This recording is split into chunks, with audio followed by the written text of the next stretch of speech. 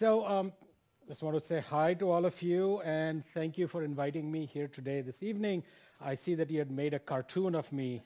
it, it looks too young, not enough you know, hair in the face, but this is what I really would like to be. I would like to be on The Simpsons. Um, and there is some website out there which can make your Simpsons character, so I went and made one for myself. Um, but this is who I am. I'm Punya Mishra. I'm Associate Dean for Scholarship and Innovation. Um, almost everything I do, I put on my websites if you want to see any publications of mine or so on. And I've gotten really interested in the last couple of months in this. I was talking with Jim earlier about these AI tools that allow you to create images and write. And so I've been writing, reading, going back and reading a lot of McLuhan and Postman and thinking about the nature of media and learning and so on. So all of that stuff is there. So my background, you know, I have an undergraduate degree in engineering, but I'll, I'll get into that in a little bit, what that means. Uh, but after that, I actually went in, uh, to design school and wanted to make educational film and then ended up getting my PhD in education. So a lot of my research uh, is in educational technology, do a lot of work around creativity and design. I'm incredibly interested in the role of aesthetics in learning. I don't think that in schools we give enough emphasis to that.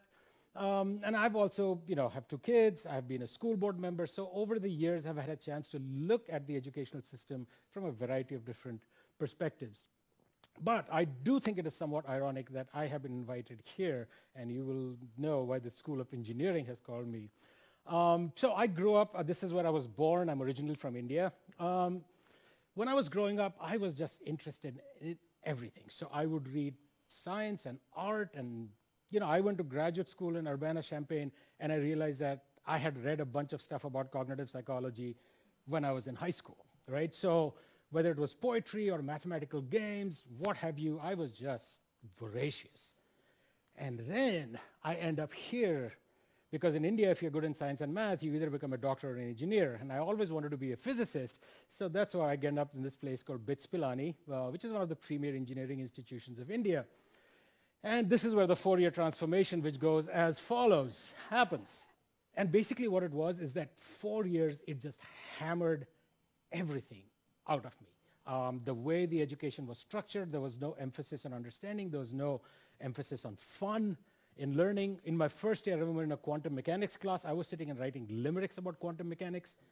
I wish I still have them somewhere. You know, I mean, I mean that's how you play with ideas. But there was no opportunity for doing that. And sadly, at the end of those four years, I genuinely, I mean, I had decent grades and all that, but I never really felt that I was an engineer. I had never developed that identity, right? And so uh, recently there's a book by my colleague Ron Beghetto called My Favorite Failure. Um, and so he asked me to write a chapter about it, and I wrote about those four years of my life. And frankly, failure, that's word favorite and failure don't really work together in my mind. Nobody, I don't want that. If I had an opportunity to go back and revise those four years, I would do that in an instant because here was an 18 year old student who loved learning, wanted to do something, and the system just beat it out of me, right? And in fact, I was invited many years ago to Purdue University. They have the engineering education uh, school there. And I said that it is, for the longest time, I put the blame on me. I failed. But now I realize that actually you guys failed me. Right? And it has made me a better educator because now I understand when this kid in the corner is not getting what's going on, the fault is mine, not of the kid. Right? It's made me much more empathetic and understanding and so on and so forth. But would I erase those four years? Yes, I would in an instant, right? And then um, I saw a poster for this place called the Industrial Design Center where they had a program in visual communication. I had grown up watching Carl Sagan, Jacob Bronowski, um, reading these popular science books, Hofstadter, so on. So I said, hey, I'm no good. I'm never going to be a good scientist, engineer, whatever, because I don't have it in me clearly, but I can still communicate it. And so I ended up going there for my master's degree, hoping to make educational film. And that's me back there. And the interesting thing here is this. In May of 1988, I had no sense of identity, no sense of feeling of being a learner, of being valued of what I brought to the table. Four months later, September, October of that same year, I saw myself as a designer. Everything that I had done in my life before then, whether it was science or art or music, and not so much music, but you know, the interest in literature and just the world of ideas, it was fine. And so I realized that there is something that happened in terms of change of identity. I went from being not an engineer to suddenly I was a designer. So I still call myself an educational designer, even though I do a lot of research in the field. I still, that is an identity I carry with me even today. But one thing interesting happened is that that's the first time I got to work on that machine. And there was something that I had done some programming and all that before, but there was something about working with the Mac that I felt that something interesting is happening. And I started writing code and HyperCard, worked with an electrical engineering professor to create software that would help students learn electromagnetism. It was phenomenal. And I said, this is pre-internet, all right? So this is no email, no nothing. But I had the sense that something interesting was going to happen in that space. And so I ended up going to Urbana-Champaign to get my PhD in educational psychology and educational technology. I was doing an internship in Boston uh, with BBN, which is, those of you know the history of the internet, the at symbol for email and the first internet stuff just happened there. And they had a really good ed tech program, so I was there uh, one summer. And I was browsing a bookstore, and I came across this book called Discovering, Inventing and Solving Problems in the Frontiers of Scientific Knowledge. It's by Robert Root Bernstein. Uh, turned out that finally ended up at Michigan State, and he was a professor there as well. Uh, he's one of the, what do you call them, the, the Genius Award winners. the MacArthur Genius Award winners. Um, and it's a phenomenal book. And I'm just reading this book, it's really interesting. And then I come across this. And it's like a little throwaway section. So there are 400 different representations of the periodic table of elements. So I knew my history of science. I knew Mendeleev and the cards that he moved around and played. And I loved the, you know, the, as, as in terms of human scientific achievement, to take this array of stuff that's in the world around us and arrange them and make predictions and said, oh, if silicon is this way, germanium is going to be that way, and then for it to emerge. I mean, how awesome is that? But this is what I had always seen. And so then I go into this rabbit hole, and UIUC has this phenomenal library, so I just check out every damn book on the periodic table that I can find, and there's stacks of them. And I'm lost in it for, I mean, I went down this rabbit hole. Just look at these things. And I realized that by calling it a table, we were making a fundamental mistake. It is actually a system of relationships between these different elements. And just as you can take the Earth and you can have a Mercator projection and you can have some other projection, none of them are wrong, but none of them are perfectly 100% right either, because the map is always less than the territory. And so I got two key insights from this. So one, like what amazing creativity chemists are showing. There's a I mean, I remember this, there was a Scientific American article making a case for why we should not use the standard version when I was working on this stuff. So chemists are still creating these things. And as importantly, we deny this to our students. For our students, it is a thing that's on the wall, it is a thing that's in the textbook, and it's truth with a capital T. But no, there are 400 plus ways of representing that same truth. The second in interesting connection in my mind at that time, and I remember thinking this was a very nascent idea. I found this two sentence description in my dissertation, which was funny because it's six, eight years later, that's what led to the TPACK framework. But there is this interesting connection between technology, representation, and content. So this is sort of the standard version of the periodic table, and you have the actinides and lanthanides sitting down there. And actually, there is research to show that it is incredibly confusing to students because they don't know that they have to bump down here, go up, then go back there. So ideally, even in the standard table, we should show it this way. But we don't. Why don't we? Any guesses? Space on a printed page. We, you know, chemists love to pack stuff, information into each of those cells. And either you have to print the book with a special fold out, which is more expensive, right? And so the technology of print has constrained how we think of the periodic table. And then there's the flip side of it. Like now we have a technology which allows us to manipulate, change, pull, you know, shift things around, zoom in, zoom out, click, get more information, bounce out again. And so that led me to develop this, which is called flexible learning in the periodic system, which was, oh God, I mean, this was, I don't know how many of you remember this thing called Shockwave that Macromedia used to have, creating all of these images, making each of these elements linkable to their database using a file make, I mean, let's not even, you know, it was crazy. This is, this is early, early ages of the web, running my own little WebStar server.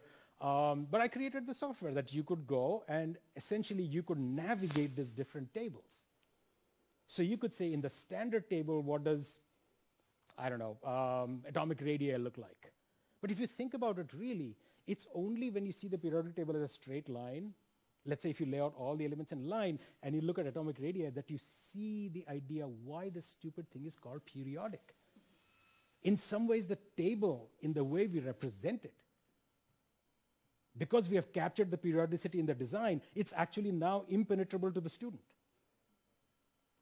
right? And so this software let you do all that. Well, of course, now none of those plugins exist, nothing, so it's gone. Uh, but that was my dissertation. But the core idea I want you to take away from this is this, that if we want to think about students understanding that the periodic, it's a system of relationships, then there are technologies and ways of doing it which allow you to explore those relationships rather than just a table. So the technology and the pedagogy and the content need to work together. So these are the three pieces that need to work together. So then I end up at Michigan State University. I meet this guy who turns out to uh, was Jim's uh, office mate back in grad school in Madison, Wisconsin. And Matt grew up in Sheboygan, Wisconsin, which is the home of the bratwurst, and he's vegetarian. Uh, I love, I used to have, I turned vegetarian a year ago, that's a different story, but I love burgers. That's the piece that's going to get me away from being vegetarian is if I get a burger. So, and he looks very cool even without glasses, I should say that. Um, so we started working together on a lot of projects around faculty development to how to integrate technology in teaching. And this is where I stole a lot of ideas from my design background to create these processes and programs which we call learning technology by design or faculty development by design. We have a book on that. Uh, started doing a lot of work with like K-12. So one of my most uh, favorite projects was one of the last things I did before I came to ASU was this project with STEM educators in Chicago Public Schools. Phenomenal project. We managed to build a wonderful team of a very diverse team of faculty and you know, students working with uh, 125 STEM educators in Chicago over four and a half years. Uh, something I'm really proud of. And in some ways, I think sort of pushed me out of MSU because it's like, I can't top this. I need to go somewhere else and where they don't know me anymore and I can fool them more, right? Um, so that's, you know, end up at ASU. But the idea of this technological, pedagogical content knowledge is that these three things are not separate from each other. And so when we think about professional development of educators, I do a lot of work in the K-12 space. You know, in teacher prep, we will give you methods courses, we will give you, you know, content courses, and we hope that, you know, and actually, to be fair, now we have lots of classes which are about sort of the teaching of content. But then we'll give you this isolated technology course and assume that you can merge those two together, right? Those components together. It doesn't work that way. And so at heart, the TPACK framework basically says that all of us as educators, live at the intersection of those three things. And when I say technology, it doesn't necessarily mean digital technology.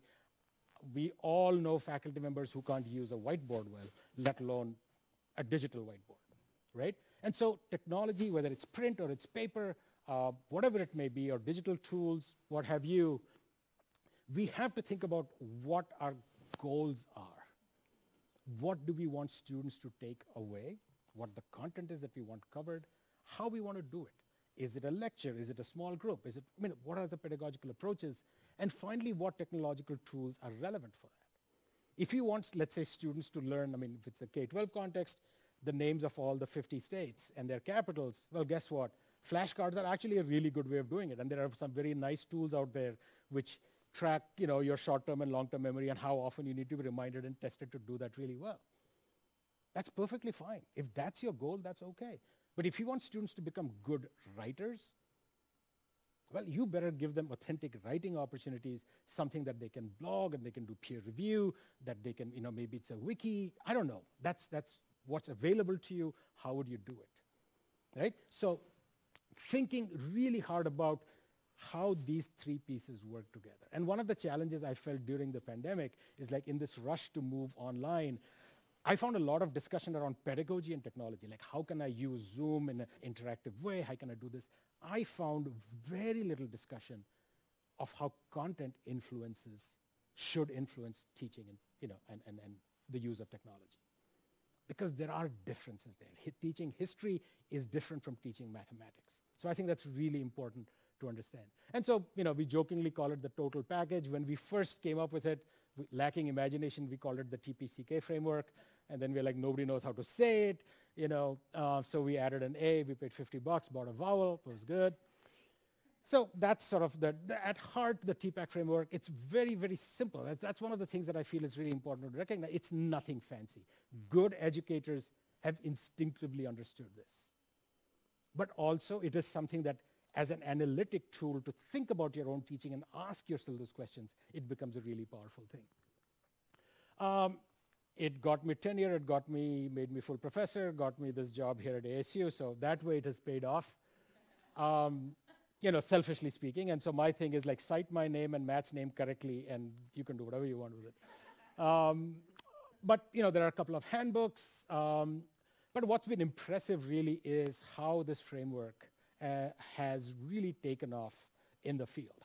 Um, the one that is most impressive for me, and this is from last year, 2021, 438 dissertations have been written which use this as a founding framework. So these are not ones which are cited. This is not citations. These are publications, articles, chapters, books, and dissertations which have actually used the framework as a theoretical framing for the research. So of course that, that is very meaningful. Uh, but more than that, it is the impact on practice. Um, I was very proud, Matt and I were very proud to be invited to Australia where they have this project for all 41 colleges of teacher education in the continent of Australia um, was working towards integrating this framework in their teacher education program. But to give one simple example of how this could be, so this is my son, his name is Soham. He was a freshman in high school and he was put in an advanced math class. And I remember he had this deer in the headlights look because firstly he's in, you know, freshman in high school and he doesn't know which class is where, so he's lost half the time. Um, and so we said, okay, let's just talk about math. We won't do math, we'll talk about math. So we used to open his textbook and see what they'd covered last week, what's coming up, and we would just chat, or we would go online, find something. One day, he, we were sitting down, to then somebody came by and I had to go talk to them. So I said, hey, go find something online, and I'll come back in a bit. I come back and I find that he's reading this, the Wikipedia page, because that's the first thing that Google threw up, right? And I'm like, why are you reading this? He said, that's what came up. I'm like, okay, but the thing is that, then I said, okay, why don't you type in unit circle simulations, right? And suddenly, a whole different way of thinking about the unit circle, Pythagorean theorem, the, the connection between sine and cos. I mean, whole, it's like a, it's a completely different universe. But it's not his fault that, you know, math become a dynamic phenomenon. So to me, that's an example of TPACK. What you want students to understand is not the unit circle. You want to understand the meaning of the unit circle in the context of all of these different ideas and how they dynamically relate to each other. And there are tons of these online, right? And there's no reason why his schools should not have been using them. They're freely available, these tools. Here's another, another example. This is the one that I used to do with my STEM educators in Chicago. So, you know, you'd get a problem like this in the textbook, right? Surface area, volume of a truncated pyramid or whatever, right? And then we have all of these, which is basically meaning that you are so dumb, I'm going to walk you through every step, right? And trying to get at the formula is the key. So we would brainstorm and say, okay, how would we make this more authentic? That's one way remove all that other garbage and let's, in small groups, discuss and figure out. But then this is what I did. I went out in the street in Chicago. There's a video I shot. Full-time and the title changes to an examiner.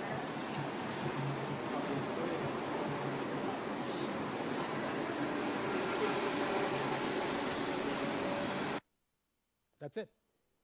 And the question is, what's the volume of that shape? And that's all the information you have. And now you put people in groups, and now they're sitting and arguing about, oh, how tall must that person have been? How much, you know, foreshadowing was there? What's the dimension of, like, how much is a size 12 shoe compared to a whatever?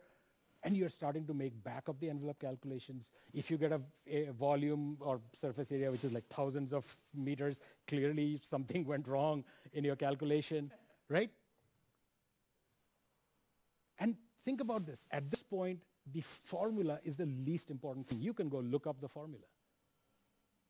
Right? And so this is where we would have students come up with ways of seeing math in the world around you. Because that's one of the big things that I tell the teachers that I work with, that if you're a music teacher, every sound must connote, mean something to you. Right? And Jim is smiling because he's a musician. I don't understand what that means, but, you know, because I have no music bone in my body. But, but if you're an artist, every shape, every color must convey something to you. Positive, negative, neutral, whatever, something. If you're a mathematician, you have to be able to see math everywhere. If you can't do it, you can't get your students to do it. Because you are modeling for them what it means to be a mathematician in this world, an engineer in this world. So I worked with the engineering program at Michigan State uh, to build their um, foundation course. And typically, you know, you'd get these people who had declared engineering as their major. They'd be given this class where different people, faculty would come in and talk about civil engineering one week, something one week, something else one week. Okay? And they would have to build a car out of vegetables or something like that. I had given a talk at the freshman class once, and this one student came and talked to me, and he and I would meet and talk very regularly. So he was doing a double major in music and engineering.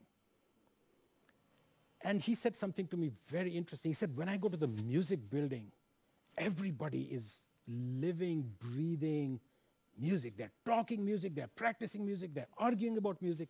He said, In engineering, when I go there, we meet as a team, we solve the problems of the homework, and then we go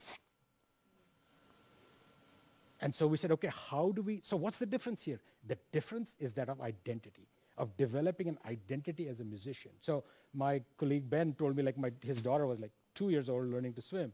He said in her mind, she's not a learner, she's a swimmer. She just will drown and die if left by herself. But in her brain, she's a swimmer. While those music students saw themselves as musicians, the engineering students not seeing themselves as engineers. So we started asking like, what does it mean to be an engineer? A part of what it means to be an engineer is an ability to take the world apart and put it together in some different and new ways.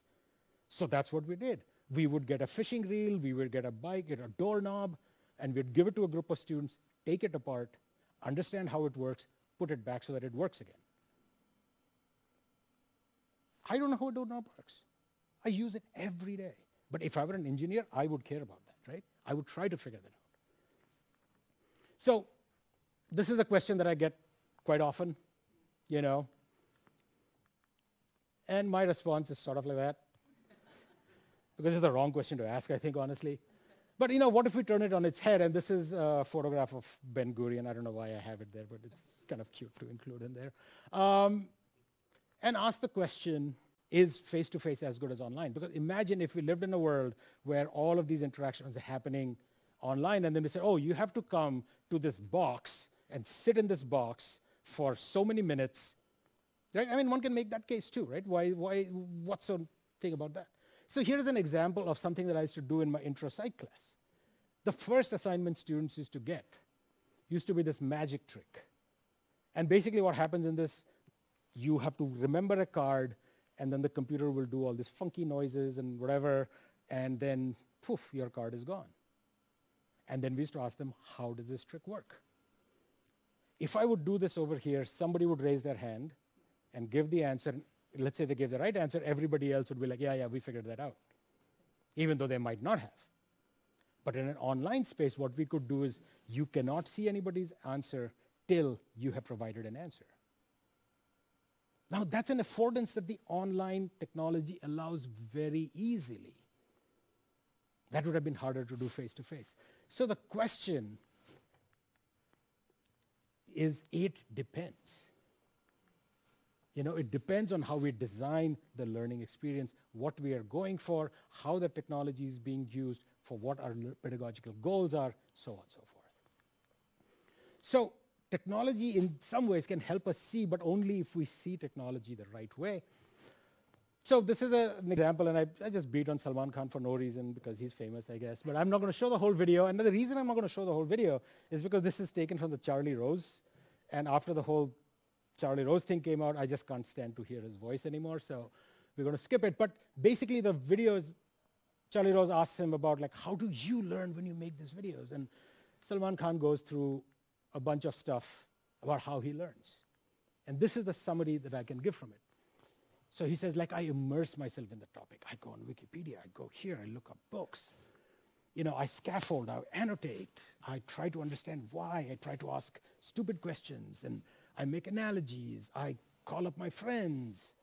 She does all of this, and, and the most kicker is however long it takes. And then I create this video and I put it out there, and people say, Oh, you got this wrong, you got that wrong, and I fix it till it's better. Then I do it again. then why do we recommend watch the video as a way to learn? He has given us a perfect, I mean, if I had to take all of educational psychology and shove it into one slide, this should be pretty much it.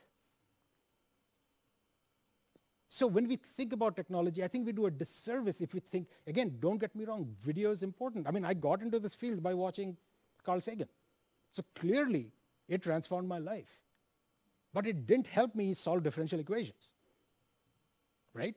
It did certain things, and certain things are better in certain other ways, and that's where I think the technologies become critical. We also have to think about some of the negative aspects of these technologies. My daughter was a student in WP Carey during the pandemic, and she was studying out of her bedroom. And whenever she had an exam, she would come to me, and I was working out of a corner of her guest room, but I had that whole space to myself.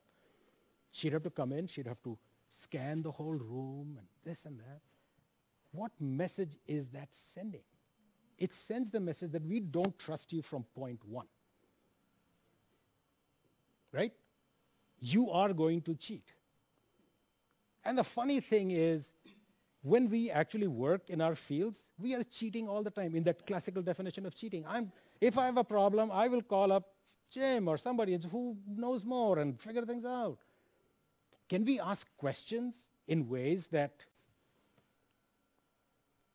allow for that collaboration? That I mean, that, that, those are important questions that I think as a field, as educators, we need to be asking ourselves. I'm not here to give answers to this, but to say that we have to think of the impact of things like this on the motivation, on sort of the self-respect, on the dignity of the learner. And that's incredibly important. And that underlying every technology, there is a theory of pedagogy. You know?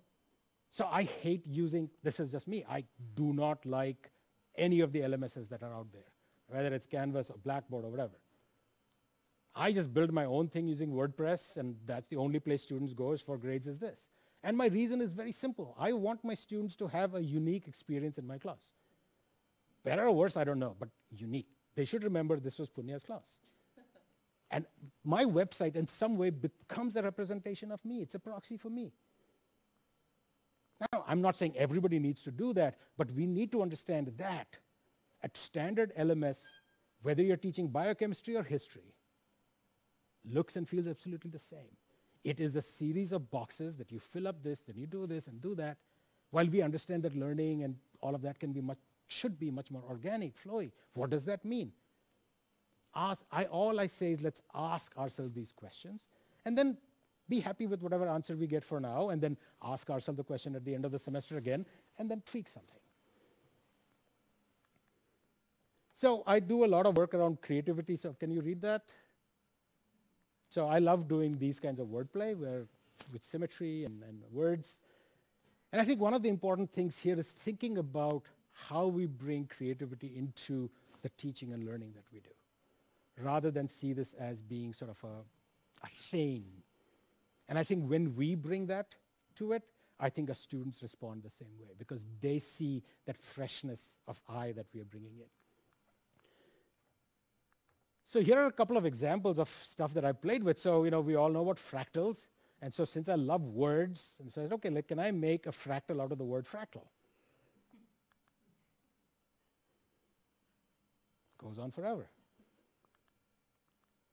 These are um, a wonderful paper by one of my, uh, my professors in, in Bombay, where looked at the fractal architecture of Indian temples and this idea of self-similarity and how it plays. You'll see this in like mandalas and stuff that way as well.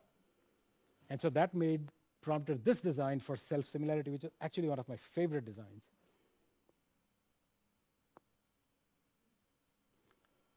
This was the 18-year-old who was writing limericks in that quantum mechanics class. I was, not, I was paying attention to the quantum mechanics because the limericks better be right to the science, right?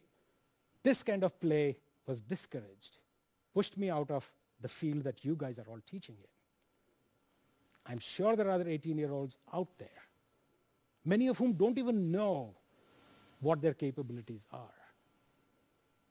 And that's a huge responsibility on each of us, especially, I think, because we are at this university called Arizona State University, where our charter demands that we be known by who we let in rather than who we keep out. So we live in a new ecology, standard solutions, hopefully, you know, most probably work. It's not magic. It's a purposeful process of design. It's not about the technology at some level, but yet, since this is the world we live in, it is about the technology. We all sit at that point, whether you like it or not. We reside at that intersection, and hopefully we can leave it better than we find it, which I don't think is going to happen to that ball of yarn once the cat is done with it. So thank you very much. When I started, I said hi. I said bye. And that's me thank you very much for the time. I hope I didn't overstay my welcome uh, in terms of time, but all right. Thanks a lot, guys.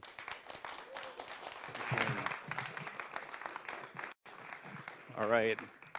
Uh, thank you very much, Dr. Punya Mishra. So this is also an opportunity to, to ask some questions, and uh, so we're going to have a couple minutes dedicated to this as well. So, but thank you very much for this very inspirational talk. And uh, it also helped me to get, I guess, impress my new boss at that time by drawing a couple circles. So it's not, not just you got your tenure and all that stuff. So uh, maybe if you have a question, raise your hand. We have, uh, Jen has this beautiful, what is it called? Microphone. so that can be tossed around and it can be used, uh, and we want to use that so that our audience online can. Is it on? Do I need to do something to turn it on? We're good, I guess. Just talk into it? Yeah. Okay. All right. So if you have a question to for, there we go. Oh, that's how it works. Yeah. Okay. Do you have a suggestion for a book to read? For what? Uh, yeah, like just you know, pick a topic of your mind related to your talk, and then suggest. Well, so there are the two handbooks of TPACK, right? I mean, my website, I have the, just drop me an email or you can just dig it on my website. You should be able to find the title chapter for the second one. That might be useful. But more than that, it's not a, a piece about TPACK to read. It really is what it is you are teaching, what your goals are for your students. That's often hard to figure out. That's, it's not as trivial because you know the, the, there is a syllabus, there is a curriculum. Those are lists, right? The thing is to try to tap into something deeper about the nature of the field, the domain that you want your students to get good at. There's a there's a couple of there's I think one professor, a couple of I don't know, um, who were teaching a, a digital signals processing class. This is in Urbana-Champaign. So as an example I read in a book. And they went back and they interviewed students who had graduated, who had taken their class like five years later and asked them what they remembered. It's amazing how little they remembered. So think about your college class. How many do you remember? And so what he did was he turned that and he said, okay, what are the three things I want my students to take away from this class? And I could get in these details wrong, but essentially they were so simple. They were basically that things are analog in the world. We can slice them using certain mathematical tools. Then we can manipulate them and we can push them out in the world. Like basically digital this to back, right? Fourier transform, whatever. But core, these three ideas. And then he built his entire curriculum on emphasizing these three ideas. Because he said five years from now, if they don't remember any of the details, but they remember this,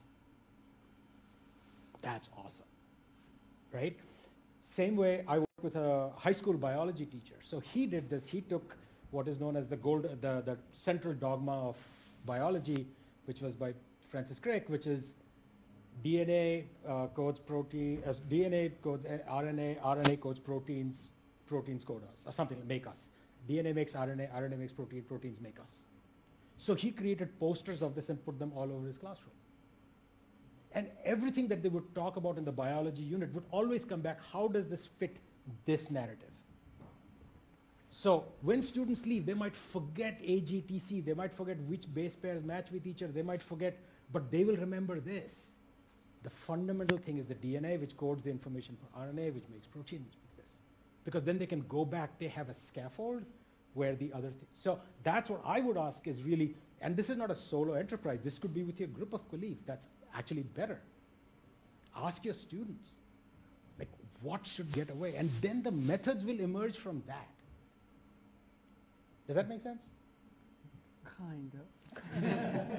But send me an email or look at my website. At least there are some readings there. There's a lot of sort of videos on TPACK that are out there. Um, so there's a lot of information about the framework out there. But I think it's more about thinking about what you want students to take away. That's actually often very hard. I mean, I find it really hard sometimes, even classes that I've taught before, to say, what is this class really about? And it's rarely really about what's in the syllabus. There's something deeper or bigger there. And once you have that, your syllabus might be the same, but the way you talk about those pieces will change because you have a bigger story to tell. And then whatever book you read has to somehow relate to those three things. Yeah.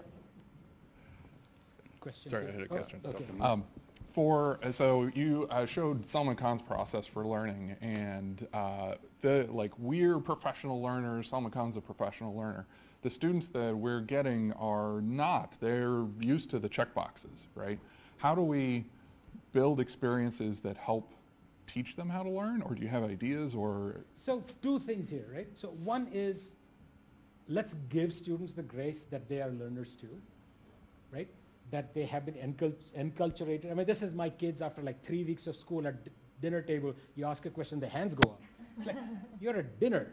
It took three weeks for them to learn that script, right? And so yes, we have enculturated them in very inappropriate ways about learning. But at the end of the day, as a species, we love to play, we love to engage, we love to learn. I think we can tap into that. Right? Is it going to work for everybody? Not necessarily. I mean, there are lots of cultural and all kinds of things. So that's how we need to become better at all of that as well. Right? I get that. But I think the assumption we have to start with is that if th- this is, I think, my biggest failure learning for me, because I can see somebody see me in that engineering class and say, this guy's an idiot. Nothing's going to happen with this guy. Right? And maybe I, and I, I'm not maybe, I internalized that.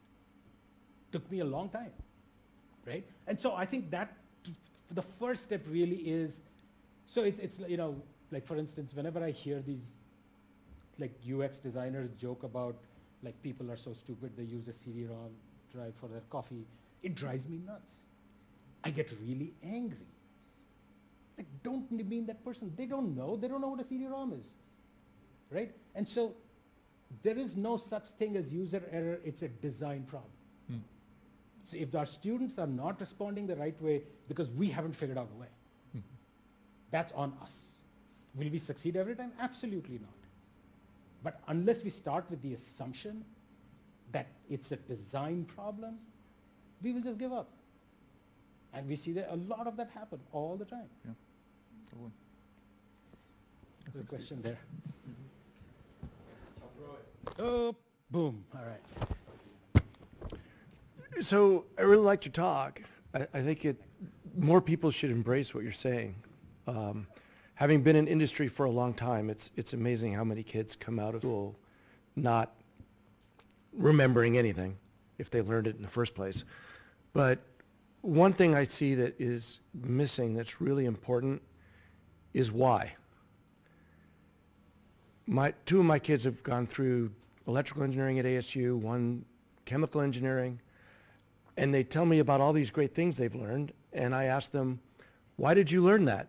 And their answer is, I don't know. And I think that's why a lot of the student motivation is missing. is because we're teaching them all these skills, saying you need to learn how to do Fourier transforms and Laplace transforms and Z transforms, and they have no idea why they're learning this. And I, I think that's a big thing that's missing, and we need to get more of that in our classrooms. I completely agree. I think that education, for the most part, has become this idea of postponement of gratification, right? Which is do X, Y, it'll be useful later. And, I, and that goes, starts from like K-12, right? I mean, it, it's not necessarily here. The only sort of nuance I would add to that would be that there are many different whys Yeah. right? And so for me growing up, the why was actually aesthetic. I used to get a kick out of learning something. For somebody else, it might be what use is it to me in getting a job. That's as valid a reason. Sometimes in higher ed, we value one, we value the other. I think that as long as we embrace the fact that there can be many whys, starting from that, so which is why I'm a huge proponent of like authentic problem solving. Get teams of people together, give them a genuine problem to solve. And then the reason for why we need, I mean, there is a reason why we came up with all these mathematical terms and, and ideas. It helps us understand and explain things in the world around us. What we are doing is we are denying students that, that phase. They don't have to live the entire history of civilization, of course. To just give them information as de facto, embrace this without their understanding that question, I think absolutely. It wouldn't, wouldn't deny that at all. I think the only caveat I would say is that there are many whys, and we need to sort of work at figuring what would best work there. Right? Excellent. And I think the last questions we have from our online audience. So, oh, okay, you can also use this microphone if you want. to. All right. All right. Good. All right, we're going to be I great. hope that when Yes, thank you, Jen. okay, this is from our online audience. Uh, what are some small changes that can that faculty can make with the TPACK framework in mind to ensure that our engineering engineering students are ready for industry? Well, I think those, I would address it as two different questions. So the second one, I think, came up there, which is this idea of purpose and why are we doing this? How does this help us understand the world and, and, and change the world and, and tweak the world, right? What was the first part of the question? Can you repeat that again? I had a slightly different Uh, what are small cha- Okay. What are small changes that faculty can make with the TPACK framework in mind? So one of the things that I always do is when I teach, I make like, I change one thing. So back in the day when blogging had just started, I was like, okay, what does blogging mean for what I teach? So I would take two modules and I would have my students try blogging.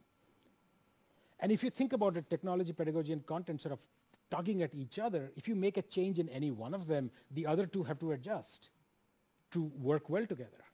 And so one of the things I always say is continue to experiment. Try something new. But don't do it for the entire semester for don't put all your eggs in one basket because that is going to is a recipe for disaster. But if you keep trying something new every time that you're doing it, you will find, look back three years from now, five years from now, you'll say, oh my God, my pedagogy has completely changed. I am a changed person or as, or as a teacher. As a, and so that would be my recommendation is every semester try something new. Try a different textbook maybe. Try, look online and find some interesting assignments or projects for students to do. Try some new technology. But don't stake everything on. I remember this community college teacher, she got so inspired by, like she was in her master's program, and she's like, oh, I'm going to have all my students, like, you know, create these blogs. And I'm like, okay, don't do it. But, and semester later, I just said, how big a disaster was it? Like, oh my God, it was such a disaster. Like, because she put everything into one thing where she was not necessarily comfortable with that technology at that point in time. She couldn't give the guidelines to the students. She hadn't figured out the nuances of it.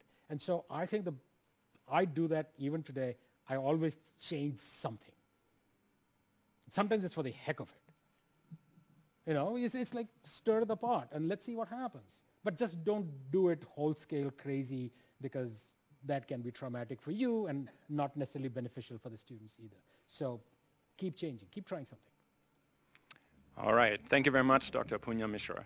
One Thank you. for- Thank you, Peter. Thank you. Thank you.